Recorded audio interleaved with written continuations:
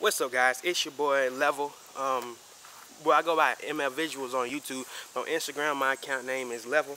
And what I do and what I'm supposed to be talking about today is how to get brand deals. The way you get brand deals is so simple. You just got to learn how to do it. Um, basically, you guys may say, I never seen you post nothing of a brand deal or nothing. Hold on. Let's go back inside.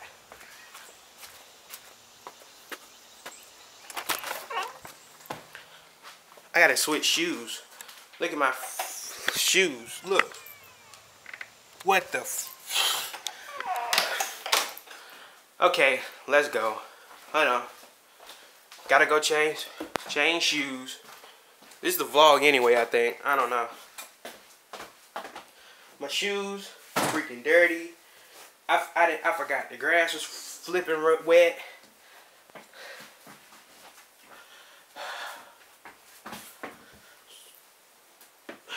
Put on my shoes. Hold on, guy.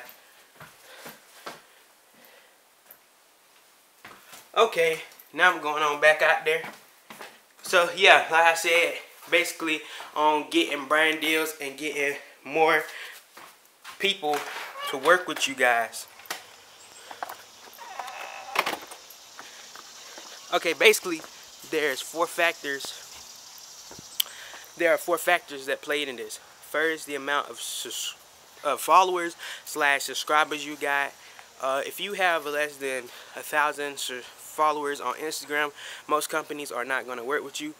But if you have at least 1,000, then you're straight because companies want to see a quick turnaround and get more people looking at this stuff. Second thing on how to get brand deals, you got to take good pictures. Without good pictures, what are you? You are just another Instagrammer. If I can take if I take a bad quality picture, hold on guys, I'm gonna go let this this dog out for a second.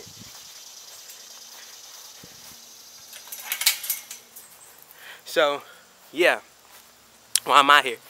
So, basically, uh, so yeah, like I said, same thing if you take bad pictures, then basically you're never gonna make it or succeed as a, this dog is really jumping on me.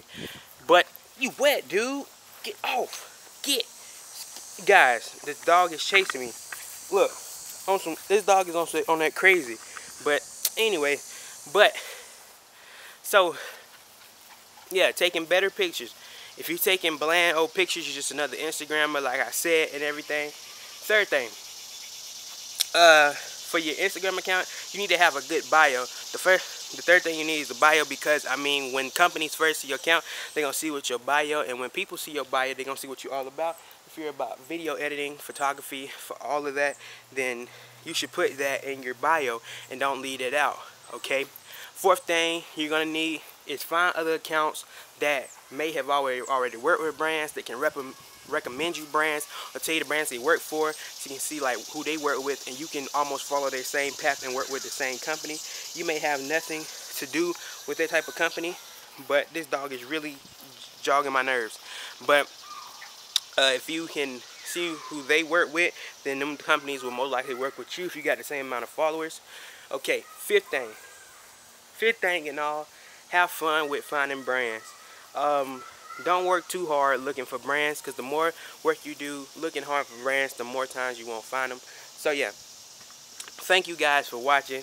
I had to make this a short video. It was going to be a vlog, but this dog is jogging my nerves. I'm going to go take some pictures today. You guys should see some pictures on Instagram this week or whenever I get this uploaded. So peace out. See you guys. Deuce.